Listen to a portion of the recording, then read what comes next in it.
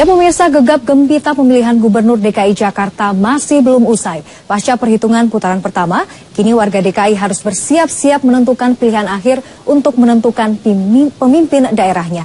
Jauh hari, kedua kubu pun berlomba memenangkan hati rakyat, kendati jadwal kampanye putaran kedua belum berlaku. Pemirsa berikut penelusuran redaksi kontroversi.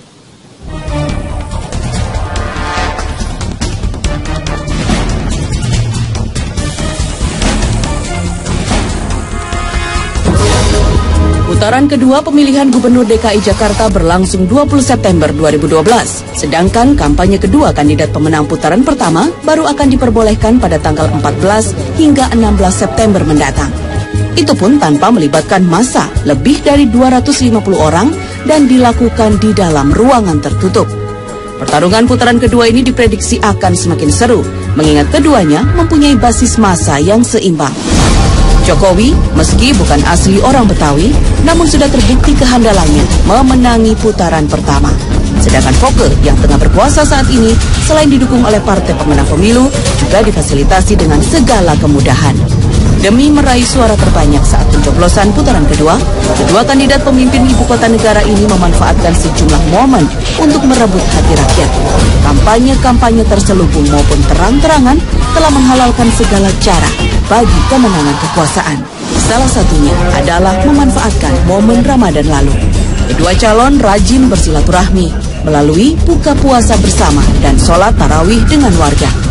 Salah satu kandidat yang juga masih berstatus gubernur memanfaatkan posisinya dengan dalih program Safari Ramadan, di mana gubernur melakukan keliling kampung untuk berbuka bersama dan melakukan sholat tarawih. Tidak hanya itu, melalui program ini pun pemerintah membagikan zakat dari dana hibah Pemda. Seperti salah satu kegiatan Foke di sebuah masjid di Jakarta Pusat memasuki minggu ketiga puasa. Setelah membagikan kardus dan amplop kepada janda dan anak yatim, Jakub dari Partai Demokrat ini pun memberikan kata sambutan yang jika dicermati mengandung unsur mempromosikan diri.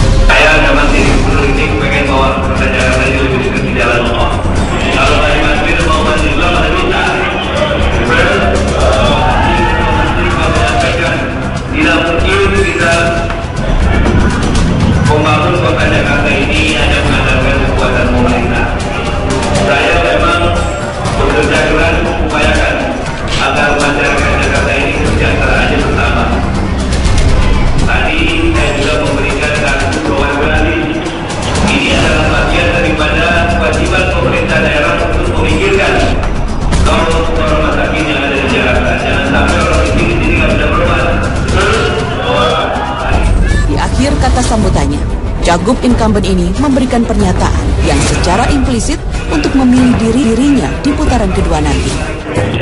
Pada mungkin kata Jakarta ini kita lebih di jalan Allah. Kalau yang lebih akan ngerti jalan Allah selama Masih di minggu yang sama, calon incumbent juga melakukan kampanye terselubung saat mengunjungi korban kebakaran di kawasan Karet Tengsin, Jakarta Pusat dengan mengeluarkan statement yang memojokkan lawannya.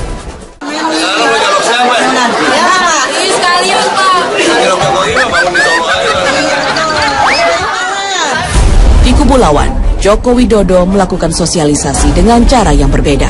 Menyadari tidak memiliki kesempatan yang sama dengan incumbent, tim kotak-kotak ini melakukan silaturahmi dengan kegiatan sosial seperti donor darah. Setiap kubu seolah ingin menunjukkan kepeduliannya terhadap masyarakat. Dengan menggunakan kata sosialisasi, maka kegiatan ini masih bisa dikategorikan sah oleh tata aturan kampanye di DKI Jakarta. Setiap uh, calon ya, dan pasangan calon ini kan ingin menang dengan bermartabat. Ya paling nggak saya lah, ya saya ingin menang bermartabat. Buat apa kita menggunakan cara-cara yang tidak terhormat dan tidak bermartabat seperti itu? Ya, pada akhirnya ya, yang menentukan kan warga Jakarta. Kalaupun itu dipaksakan tidak akan ada efektivitasnya. Adanya perbedaan persepsi antara Undang-Undang Nomor 12 Tahun 2008 dengan SK KPUD DKI Jakarta Nomor 13 Tahun 2011 mengenai pedoman teknis tata cara kampanye dimanfaatkan sedemikian rupa oleh para calon gubernur. Ya, sama saja itu kan sosialisasi sebenarnya. Satu saja tidak ada, maka dia tidak bisa disebut kampanye. Itu menurut undang-undangnya. Maka dimanfaatkan kami pun memanfaatkan itu. Kenapa kami? Kenapa kami butuh sosialisasi yang lebih tinggi?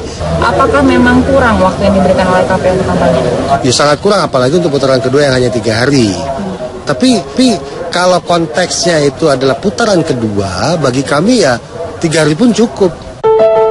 Dalam undang-undang tidak disebutkan bahwa diperlukan semua unsur untuk menjadikannya sebuah kampanye. Tetapi kemudian, dalam aturan penerapannya, KPUD menyebutkan harus memenuhi semua unsur untuk menjadi sebuah kampanye, yang kemudian dijadikan celah bagi para kandidat untuk melakukan kampanye. Uh, sebenarnya ada persoalan, bukan di undang-undang ya. Undang-undang 3 2004, 32 tahun 2004 tentang pemerintah daerah tidak pernah menyebutkan yang namanya unsur kumulatif.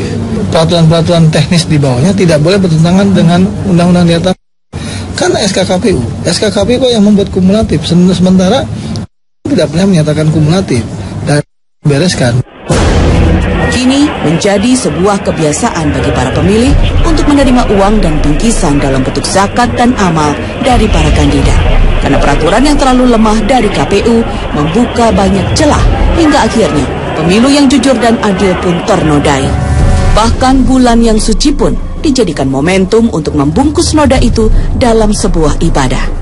Sementara bagi Komite Independen Pemantau Pemilu, pemberian barang ataupun uang yang diberikan oleh kandidat dan ditambah dengan ucapan atau himbauan untuk memilih si pemberi dapat dikategorikan sebagai kampanye. Kalau yang melakukan itu uh, calon sendiri, calon gubernur sendiri jelas-jelas itu pelanggaran.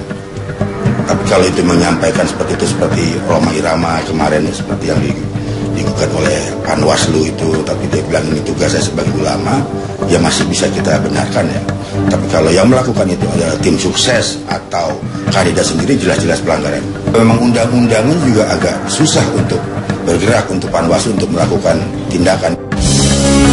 Tidak hanya peraturan kampanye tapi masih ada segudang peraturan dan undang-undang yang dibuat untuk bisa dicari celahnya sehingga apa yang dianggap telah diatur tidaklah demikian pada pelaksanaannya. Kini, pemilu yang jujur dan adil ada di tangan pemilih. Jakarta, sebagai ibu kota negara, seharusnya menjadi contoh bagi daerah-daerah lainnya. Tim Liputan Trans 7.